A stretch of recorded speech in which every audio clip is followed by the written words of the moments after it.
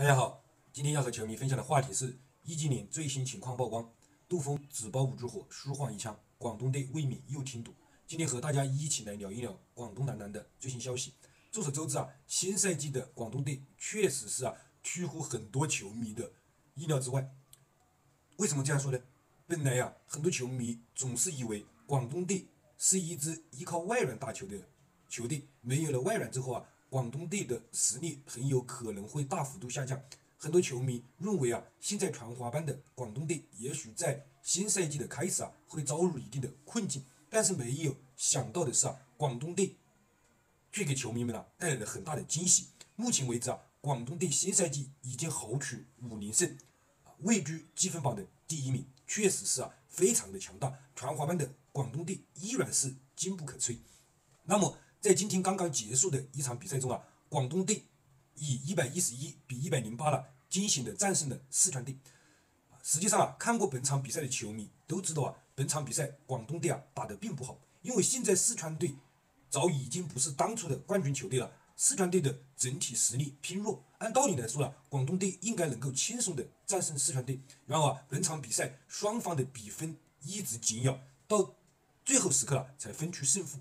本场比赛，广东队取胜的两大功臣，那就是球队的后卫双子星胡明轩和徐杰。本场比赛啊，胡明轩砍下了全场最高的三十六分，五次助攻；徐杰也拿到了二十四分，七次助攻。两个后卫就拿到了六十分，啊，几乎啊占到了球队得分的一半以上。但是呢，本场比赛广东队的整体进攻啊并不流畅，全队的助攻次数只有十八次。而四川队的全队助攻多达二十七次。广东队本场比赛之所以能够取得最后的胜利啊，主要凭借着两点优势。第一点就是广东队深厚的冠军底蕴，在气势上面呢击垮了四川队。第二点就是凭借球队的明星球员胡明轩和徐杰的超常发挥，最终啊，广东队艰难的以三分的优势啊战胜了四川队。但是本场比赛啊，很多球迷发现了一个问题，那就是。备受球迷们期待的广东战神易建联依然是高挂免战牌，没有登场比赛。可能很多球迷都知道，广东队在上一场大胜上海队之后啊，杜锋指导在接受采访的时候啊，明确表示啊，易建联在下一场比赛很有可能会登场比赛，而且表示啊，易建联目前伤势已经没有问题，很想回归赛场。那么，在本场比赛，广东队迎战实力偏弱的四川队，应该是易建联。登场找感觉的最佳时机，为什么杜锋却选择了虚晃一枪，没有让易建联登场比赛呢？很多球迷认为啊，杜锋知道很有可能啊，还是在啊有所顾忌，易建联的伤势啊，也许还存在着一定的隐患。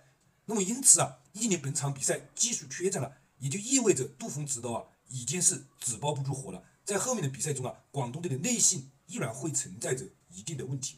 那么对于易建联的最新情况啊，广东方面也是给出了最新的消息，易建联已经参与到球队的合练，而且来到场边了现场观战，本人也非常想要登场。但是啊，广东队教练组出于安全考虑啊，还是选择让易建联轮休，那就说明了易建联的旧伤啊，很有可能会存在着一定的隐患。那么现在易建联是作为球队的精神领袖，如果说易建联的上场时间无法确定下来，啊无法提供稳定的登场时间的话，那么广东队所能依靠的内线球员，那只有曾凡日和苏伟。这对于广东队后面的赛程呢，也会留下一定的隐患。